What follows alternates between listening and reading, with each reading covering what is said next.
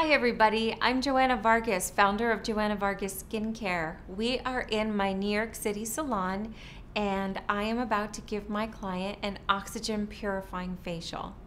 First, I am going to start with a skin analysis. Every good deep pore cleanse starts with analyzing the skin, getting familiar with what I'm going to do in terms of extraction today, Next, I'm going to exfoliate her with the diamond peel. There are actual diamonds in the tip of this wand, and I am going to use it to slough off the dead skin cells, surface dirt, and any remaining debris on the surface of her skin so that the products that I use in the treatment can penetrate better.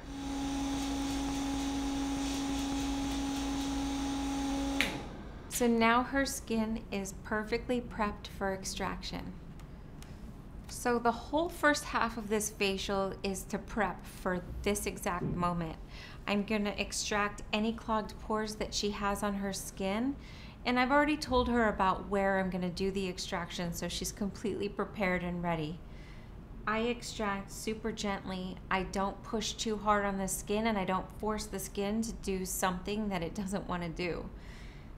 Hopefully once I've steamed and exfoliated you well, the extraction part is super fast and easy.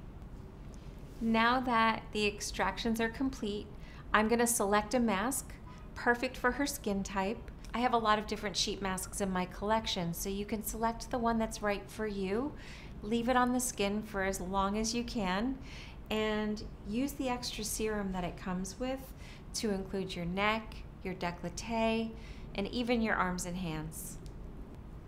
I like spending a few minutes to carefully place the mask on someone's skin. You want to make sure that the bamboo sheet sits as flat on the face as you can possibly make it so that you get all of that goodness soaking into the skin.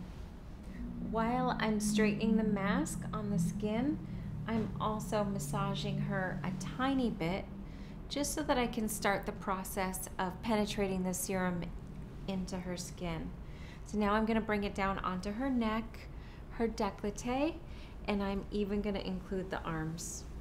Having an opulent amount of serum in each sheet mask is so vital so that you can really address the skin on the whole body. So after at least 20 minutes, you can remove the sheet mask and then massage the remaining serum into the skin.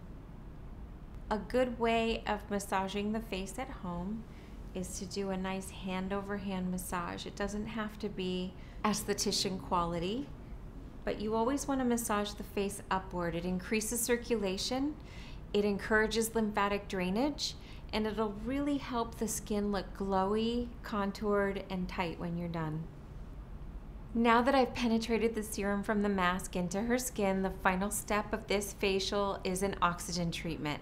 I love finishing facials with oxygen. Oxygen stimulates collagen production, it reduces inflammation, and it increases circulation.